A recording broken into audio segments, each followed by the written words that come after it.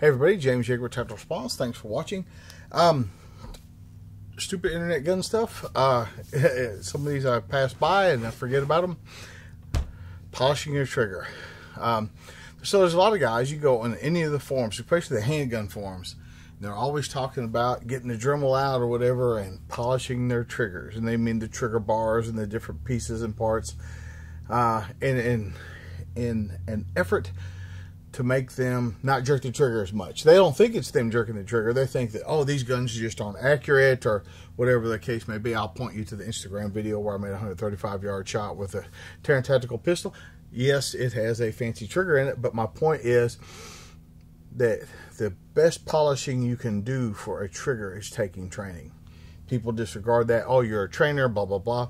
There's another thing, especially when we kind of move over into AKs and AR-15s, many times, many times the hammers and different pieces of that gun are uh, case hardened.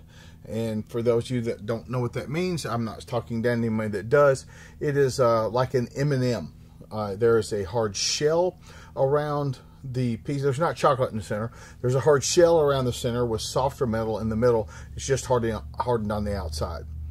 And uh, this is particularly dangerous because when you polish this thing enough, and it's just a thin shell, when you polish it enough, then you expose, you can't see it, you expose the soft uh, internal metal, which wears very quickly and uh, and can be, can cause uh, the gun to go off when you don't want it to. That's not an accidental discharge. That's a negligent discharge because a negligent person was uh, filing on that metal, dremeling, polishing on that metal, and got through the coating. There are no accidents. It's all because of somebody's negligence. So, uh, so the stupid internet gun thing for today is trigger polishing. Uh, if uh, if you have had training and your trigger is still a problem, then you need to replace or upgrade the trigger.